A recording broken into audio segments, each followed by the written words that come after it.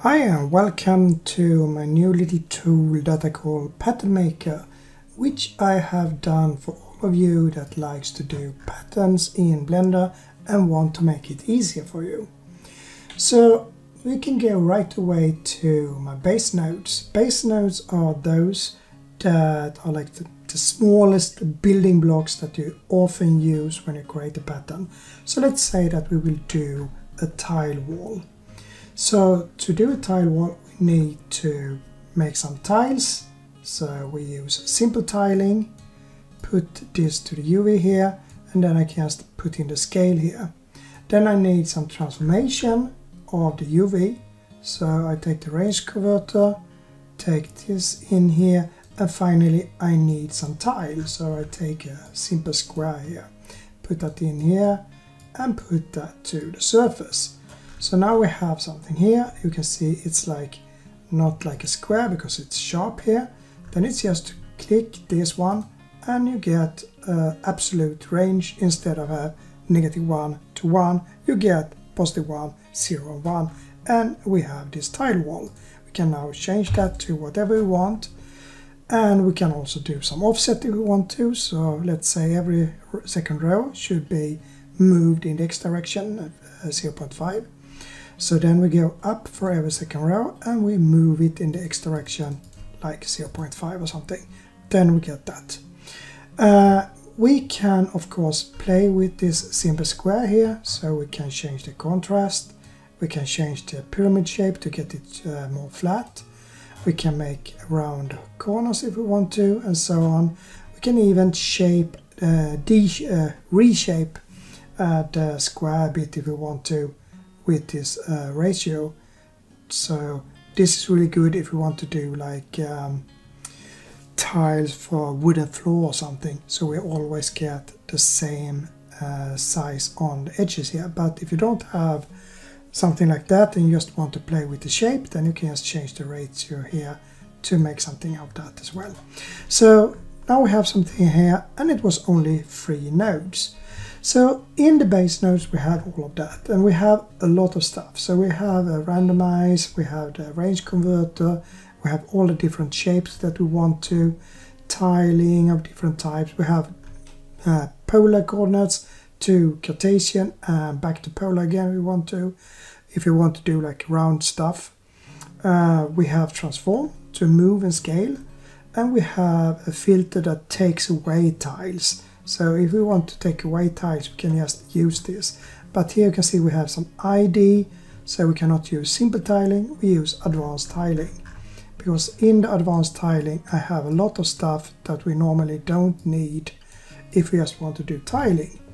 But if we want to have ID for each of these or we want to change the ratio or we would like to do something else that is more advanced then we use the advanced tiling. So here we can use the UV filter, just take in the ID, the IDX and IDY and as soon as we're done, done like this then we can just play with this and take away uh, random uh, tiles if we want to, or we might want to take away everything in the um, x direction or perhaps in the y direction. So we can, or in the ID here, so if I put this to 7, we get every second, for instance. So you can change a lot of stuff with just the base nodes. Then you have the deformers and that is how you visually change things. So let's say that I take away all of these here and instead I just use uh, a simple n-gon for instance and we need some converter here. So put those in and we have this. And now I would like this to be a star. So I just changed the center a bit so we get we can get a flower, we can get a star like this. Uh, take, change the contrast, the size, something like that. And now I just go to my deformers and I would like to have the edges here. So I just drag this in and put the pattern here and I get the edges and I can then play with the width of the edges here to uh, get it as width, get the wide, uh, wideness of the edges as I want to. or I can play with other things here so I can like uh, play with the kaleidoscope which is more advanced and it's more to have fun but with this one I can easily put in uh, something here in and uh, that I can play with so if let's say I take this one to my simple n-gon I can take it directly from here so we take it like this uh, let's and then we take it like this. We don't need this because that is already built in in this kaleidoscope since it's always centered. So then I can just use that and play with information here to change the amount of sides and the levels, how many rows it should be inside here uh, with the size and so on and can get something that is really nice just with two or three nodes. So there you have all these things that are visually change stuff. And then you have some noise and right now it's just the mortar damage. I will add more to this later on but this one will easily make all the edges damaged if you have a pattern. And then I have some gradient noise that is a noise that I built from scratch. So we are not using blender noise here. It's something that is, as I said, created from scratch, but can be useful. Then we have patterns, and this is just plug and play, so if we take this away and take in a pattern, whatever pattern we want, then we can just take that, put it in here from the UV and get that out here. So we get some here. And here we have like a Cairo tile and now we can just play with things like the angle here we can play with the size of the edges, the scale, and so on. And you can also see that we get the UV out so we can connect everything inside here to follow along when I change the angle. So let's say that I would like to have something else inside like uh, the fibers or something. Then I can just connect the UV to the fibers, put that out here. And you can see that when I turn it also turns the direction of my fibers. So if I take this up a little bit, you see now everything goes down and here it changes. So then I can just use this together with the mask here and put in the factor and the mask to get it with the edges as well. So it could look like something like this. So if I go to converter and mix then I can use my mask here and now you can see that I get that in here and I get that in here and now I have something that have some good uh, edges when I play here and everything is follow along in a good way. So that is just one example. I have a lot of different types of patterns here. You have some knitting, you have some scales that you can play with. We have some uh, scattering, we have shapes directly. So if I don't want to go the long way by using base nodes, I can just put in my shape here and put it out and I have the shape. And I can change this to be a circle or to be a square or to be some n-gon with some type of edges. So I can have six edges and I can change this to be a flower for instance, change the rotation, how much uh, this could be should be on the contrast, uh, size, and so on. So everything is already built into this shape if I don't want to do the base nodes here. So just one node and you get everything. Could be that I would like to add some stitches into it and I can do that as well. So I can just put in some stitches and I use that just for fun.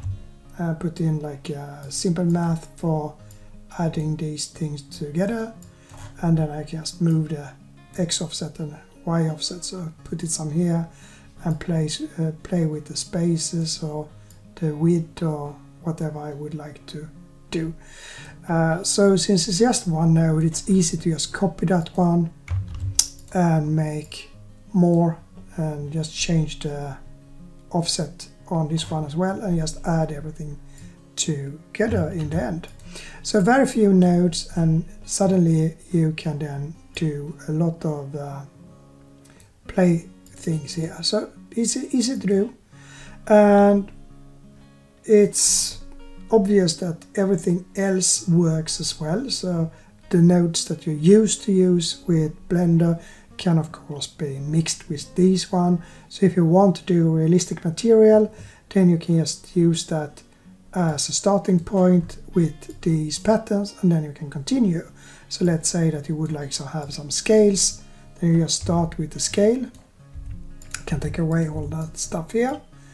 So we have the scales here, we might want to change them just a bit, how we now want it to be, it doesn't matter so much.